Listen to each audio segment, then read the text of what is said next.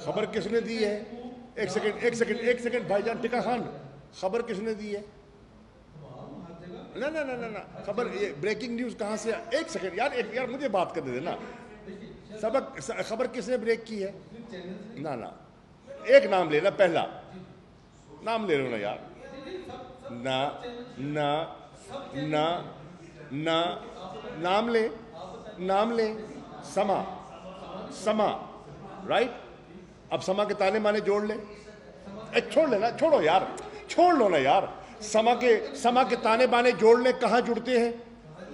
कहाँ जुड़ते हैं? वहाँ जुड़ते हैं, वहाँ जुड़ते हैं, जहाँ आपको मालूम है कहाँ जुड़ते हैं। छोड़ो यार छोड़ो यार। कंकॉक्टेड बोगस ऑडियो है, हम उसको मुस्तरद कर रहे हैं, आप साबित कर दें। क्यों करें? आप करें ना, हम क्यों करें? हम कह रहे हैं हम उसको मुस्तरद करते हैं। अगर समा के पास कोई ऑथेंटिक चीज़ है ले आए बात अगर आपने ब्रेक किया ना ले आप बताएँ आप बताएँ साबित करें। इमरान खान एक सेकेंड इमरान खान भी मौजूद है और वो शख्सियत भी मौजूद है। आमने सामने कर ले। तो समा तहकीक करें ना भाईजान हम क्यों करें? हम तो कह रहे हैं कि इट्स नॉनसेंस ये हम कह रहे हैं भाईजान ये प्लांटेड खबरें हैं। फेक न्यूज़ है। फेक न्यूज़ मैं आपको बताता हूँ। अभी मैं आज सुबह देख रहा था एक अ, सोशल मीडिया पे एक uh, uh, post Imran Khan ने शाह महमूद की सरजनिश कर दी। और ये हो गया और वो हो गया। और अगर शाह महमूद इज़्ज़त के लिए सियासत करते हैं तो उनको तहरीक इंसाफ से अलग हो जाना चाहिए। ये मैंने पोस्ट देखी, मैंने खुद पढ़ी। आपको भी पेश कर देता हूँ। मैं फॉरवर्ड कर देता आपने देखी होगी, ठीक? इसमें रत्ती भर सच नहीं है, लेकिन खबर है। इसको कहते हैं फेक न्यूज़ इसको कहते हैं प्लांटेड न्यूज़ इसको कहते हैं जो एक वेस्टेड इंटरेस्ट के आलाकार लोग बन जाते हैं और वो लोगों को गुमराह करते हैं। बदकिस्मती से ये दुनिया में एक रिवाज बन गया है। सिर्फ़ पाकिस्तान तक महदूद नहीं है, ये दुनिया में रिवाज बन गया और मैं बिल्कुल आपको इस इस इस ज़ाती तजर्बे को सामने रख के कहता हूँ कि प्लीज़ जो हमारे कारकुन भी हैं, साथी भी हैं, जब भी कोई इस किस्म की खबर आए, पहले तस्दीक कीजिए। इससे पहले कि आप कमेंट्री शुरू कर दें, आप तहकीक कीजिए, तस्दीक कीजिए, क्यों? कि इस वक्त एक हिस्सा है, हमारा एक हिस्सा है, जो एक एजेंडे के मुताबिक काम कर रहा है। उनका एजेंडा है गलत फहमियाँ पैदा करना, उनका एजेंडा है लोगों को गुमराह करना, और उनका एजेंडा है पाकिस्तान के अंदर, हमारी सियासत के अंदर कन्फ्यूज़न पैदा करना। कौन सी ऑडियो लीक मैं उसका जवाब दे दूँ उसका फौरी जवाब ले ले। बेबुनियाद डॉक्टर्ड और हम उसको तस्लीम ही नहीं करते। इमरान खान साहब की कल की प्रेस कॉन्फ्रेंस उठा के देख लीजिए जो उनके व्यूज़ हैं अ, उनके बारे में। वो किसी से ढके छुपे नहीं हैं। सवाल ही पैदा नहीं होता कि इमरान खान साहब किसी टाइकून से गुजारिश करें कि मेरी आसिफ अली जरदारी से अ, कोई रबता करवा दो या कोई हमारी अंडरस्टैंडिंग करवा दो। सवाल ही पैदा नहीं होता। मैं मैं as vice chairman of the party कह रहा हूँ दिस इज़ एब्सोलूट नॉनसेंस नहीं नहीं। नून लीग के साथ एक नशस्त हुई। मैं तस्लीम करता हूँ, हुई। और उसका बुनियादी मकसद ये था कि किस तरह जो 25 मई का जो हमारा मार्च है, उसे खून खराबे से बचाया जाए। गुफ्तगु हुई।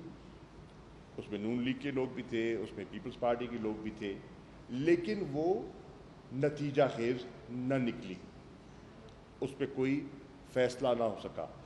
हमारा मौक़ ये था कि आप जो प्रोपेगेंडा कर रहे हैं कि हमने आके इस्लामाबाद में कोई तसादम करना है, हमने खून खराबा करना है, ये जो आप, आपका आपका जो मीडिया सेल है, वो जो कह रहा है कि हम बमाए असला आ रहे हैं, ये गलत है, ये हमारी पॉलिसी नहीं है। तसादम, झगड़ा, खून खराबा हमारा माजी बताता है कि ये हमारी पॉलिसी नहीं रही ये आप प्रोपगेंडा कर रहे हैं। और हम ऐसा नहीं करना चाहते। चुनाचे, हम पुरमन रहेंगे, अपनी बात कर के हम मुंतशिर हो जाएँगे। अगर आप दो चीज़ें कर दें। एक, जो कंटेनर्स लगाए हैं, वो हटा लिए जाएँ। और जो गिरफ़्तार हैं हमारे कारकुन और हमारे लीडर्स उनको रिहा कर दिया जाए। क्योंकि उन्होंने कोई गैर कानूनी काम नहीं किया। उन्होंने right to assemble right for a peaceful protest आइन उनको इजाज़त देता है तो उन्होंने अपना आइनी और कानूनी हक इस्तेमाल किया है और ये कोई गुनाह नहीं है। और सुप्रीम कोर्ट ने भी फिर उसकी इजाज़त दे दी और सुप्रीम कोर्ट के फैसले के बावजूद इन्होंने शेलिंग जारी रखी और इन्होंने गिरफ़्तार लोगों को रिहा नहीं किया।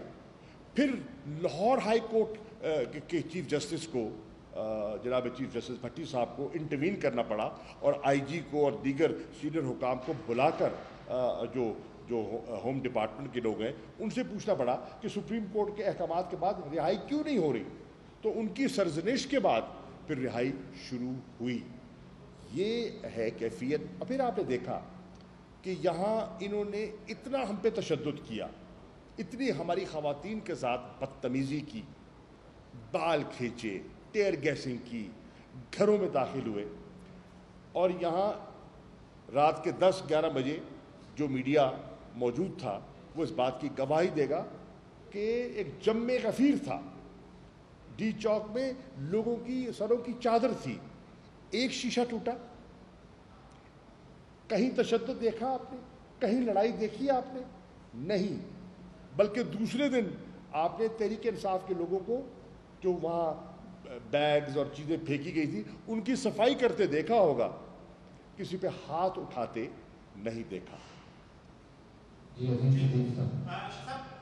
पूछना ये था कि आप लोगों के इस्तीफों के हवाले से पार्टी ने कल कोर कमेटी के इजलास में क्या फैसला किया है? किसके हवाले से? आपके आप लोगों ने जो इस्तीफे दिए हैं उनकी तस्दीक के लिए क्या स्पीकर राजा परवेज के पास आप लोग जा रहे हैं या नहीं? और इसके साथ साथ आप लोग जा रहे हैं सुप्रीम कोर्ट ऑफ़ पाकिस्तान कानून साजी के खिलाफ। क्या पार्लिमान की जो सुपरमेसी है, बालादस्ती है, वो इससे मुतासर होगी या नहीं? और एक मासूम सा सवाल है कि रावलपिंडी इस्लामाबाद से कोई बिल वास्ता या बिला वास्ता इस वक्त आप लोगों के रबते हैं या नहीं? नंबर एक, बिल वास्ता, बिला वास्ता रबता कोई नहीं है। आसान जवाब आ गया। नंबर दो देखिए असेंबली का, कानून साजी का इख्तियार को कोई चैलेंज नहीं कर रहा। हम उसको तस्लीम करते हैं। मैं खुद पार्लियामेंट का मेंबर रहा हूँ।